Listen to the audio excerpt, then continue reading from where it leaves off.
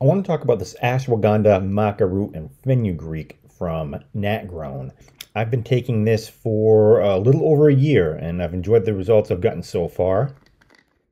The capsules aren't too big, they're very easy to work with. You can see them there size wise and reference to a penny.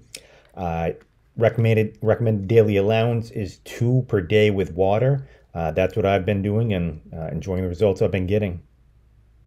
If you'd like to try these for yourself, please click on the link in the description below.